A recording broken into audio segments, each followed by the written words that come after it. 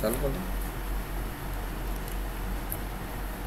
प्रिय विद्यार्थियों, मैं आप लोगों का बीएससी पार्ट फ़र्स्ट बॉटनी के सेकंड पेपर में क्लासिफिकेशन के ऊपर अपन अध्ययन करने में आपका स्वागत करता हूँ।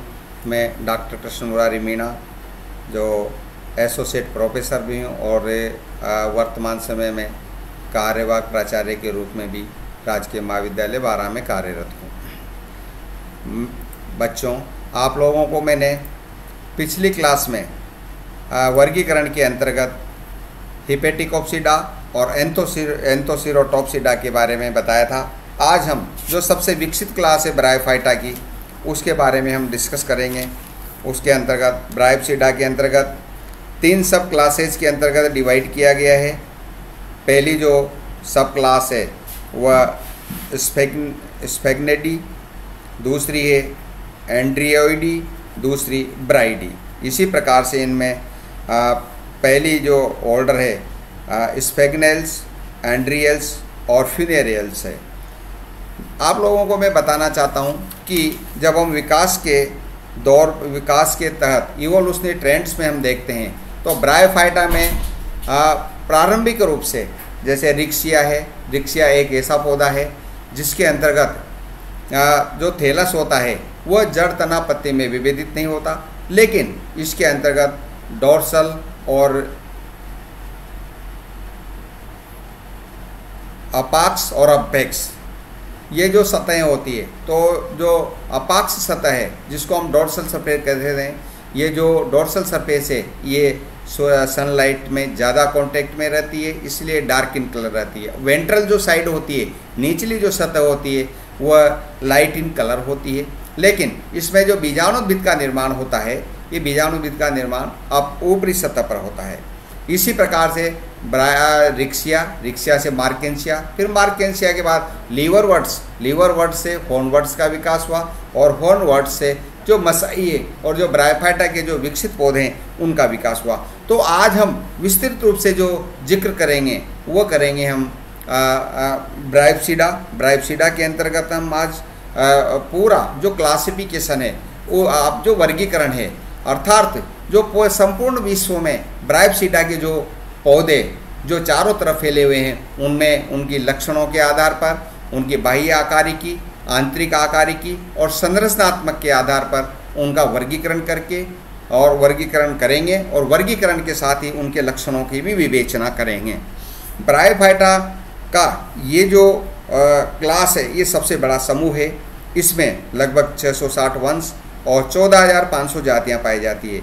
इस वर्ग के पौधे विविध प्रकार के नम आवासीय स्थलों नम मिट्टी गीली चट्टानों वृक्षों के तनों आदि पर पाए जाते हैं। युग्मकोद्भिद पौधे की दो अवस्थाएँ होती है पहले प्राइमरी प्रोटोनिमा और दूसरा पर्णिल अवस्था। जो प्राइमरी प्रोटोनिमा है ये अवस्था सयान होते हैं प्रोस्ट्रेट होते हैं, विसर्पी होते हैं साखित होते हैं और तंतु द्वारा विरूपित होते हैं। प्रथम तंतु बीजाणुओं के अंकुरण से उत्पन्न होता है, जबकि स्फेग्नम, एंड्रिया आदि में अवस्था प्लेट की भांति चपटी होती है।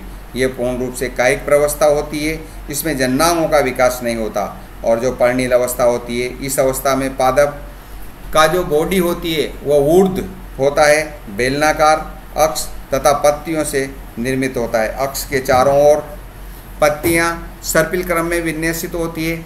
इस अवस्था में जननांगों का निर्माण होता है। पर्णिल गेमिटोफाइट, ऊर्ध्व अक्ष पत्तियाँ और मूलाभासों में विभेदित होता है। मुख्य अक्ष शाखित या अशाखित होती है।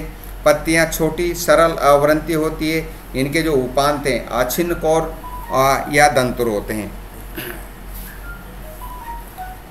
डेंटेड होते हैं। स्पेग्नम आदि वंशों में अधिकांश वंशों में एक सुस्पष्ट मध्य सिरा होती है। मूलावास बहुकोशिकीय पाए जाते हैं साखित होते हैं। इनमें कोशिकाओं के बीच बीच में तिर्यक पट्ट पाए जाते हैं। ये जो थेलोफाइटा में, जो कारा में भी ऐसा लक्षण पाया जाता है, अक्ष के आंतरिक उत्तक में, केंद्रीय चालन क्षेत्र तथा परिधीय कॉर्टेक्स में भी विभेदित होते हैं। पत्तियाँ केवल एक कोशिकीय मोटी होती है। कायिक जनन, खंडन पर्णिल शाखाओं, भूस्तारी, प्रथम तंतु के शाखन, कुछ जेमी या अपाती शिखाग्रों द्वारा होता है। नर तथा मादा जन्नाओं के शीर्ष पर समूह में विकसित होते हैं। पौधे डायोसियस या मोनोसियस होते हैं। पूधानी सवरंत एवं गदाकार होती है। इस वर्ग की पूधानियाँ हिपेटिक ऑप्सिडा वर्ग की तुलना में अधिक संकीर्ण, लंबी होती है। पूधानियों का जैकेट एक स्तरीय होता है। नर युग्मक द्विकसाबिक एवं सर्पिल रूप से कुंडलित होते हैं। स्त्री दानियाँ सवरण हिपेटिक ऑप्सिडा की तुलना में इस वर्ग के सदस्यों में स्त्रीधानी ग्रीवा अधिक लंबी होती है, जिसकी लंबाई लगभग 40 से 50 कोशिकीय हो जाती है एवं जो इसका वेंटर या जो अंडधा वाला भाग होता है, वह फूला हुआ पाया जाता है। स्पेगनम एवं एंड्रिया को अपवाद स्वरूप छोड़कर इस वर्ग के सभी सदस्यों में बीजाणुद्भिद फ़ूड सीटा कैप्सूल में विभेदित होते हैं। सीटा लंबा होता है, जो कैप्सूल को गैमेटोफिटिक उत्तक से ऊपर उठा लेता है और जिससे बीजाणुओं की प्रकीर्णन, जिससे बीजाणुओं का प्रकीर्णन सरल हो जाता है।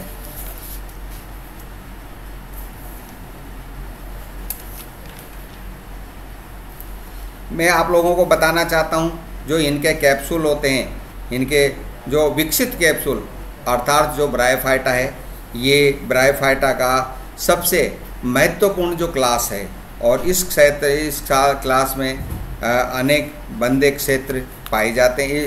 ये जो कैप्सूल है ब्रायफाइटा में जो ब्रायपसीडा जो क्लास है, इसमें जो कैप्सूल जो पाए जाते हैं, ये कैप्सूल जो बीजाणुद्भिद है ये बीजाणुद्भिद कैप्सूल के रूप में पाया जाता है और इसकी टिपिकल संरचना होती है। कैप्सूल अनेक बंदे क्षेत्रों जैसे कैप्सूल वाल ओपरकुलम प्रछद या पेरिस्टोम पेरिस्टोम एक ऐसी संरचना होती है जो अंगुलियों के समान बाहर की तरफ़ दांतों की जैसी संरचनाएँ निकली हुई रहती है। तथा कोलुमेला एवं फर, जो फर्टाइल आर्चिस्पोरियल या फलद प्रसूतक में विभेदित होता है। ये जो ओपरकुलम है पैरिस्टोम है, इनका जो महत्वपूर्ण जो कार्य होता है, ये जो बन, इसमें बीजाणुद्भिद में, कैप्सूल में बनने वाले जो स्पोर्ट्स हैं, ये स्पोर्ट्स का जब ये मेच्योर हो जाता है कैप्सूल तो ये ये संरचनाएँ जो बीजाणु को बाहर फेंकने में और इसके जो बीजाणु, कैप्सूल का जो स्फुटन है उस स्फुटन के अंतर्गत सहायक होते हैं। स्फेगनम को अपवाद स्वरूप छोड़कर अन्य सभी वंशों में कैप्सूल के स्फुटन में आर्द्रताग्राही प्रकृति होती है। अर्थात पेरिस्टोम तंतुओं के आर्द्रता से संबंधित, आर्द्रता के समय जब जैसे आर्द्रता ज़्यादा होती है तो उस समय ये फैल जाते हैं और जब आर्द्रता कम होती है वातावरण में तो ये सिकुड़ जाते हैं। तो इनके ये जो कैप्सूल का प्रस्फुटन में है ये महत्वपूर्ण योगदान निभाते हैं अर्थात ये सहायता करते हैं। बीजाणु अंकुरित होकर प्राथमिक प्रोटोनिमा बनाते हैं तथा गेमिटोफाइट की जो प्रथम अवस्था होती है ये गेमिटोफाइट की जो प्रथम अवस्था है ये आ, जो प्रथम अवस्था जैसे ही स्पोर्ट्स डिस्पर्सल होते हैं स्पोर जर्मिनेट होता है और जर्मिनेट होने के बाद ये बीजाणु है ये प्राथमिक पौधा बनाता है प्रोटोनीमा बनाता है और उसके बाद ये आ, उसमें एक यंग पौधा बन जाता है। उसके बाद इसके अंतर्गत एनिमोनोसियस प्लांट हुआ।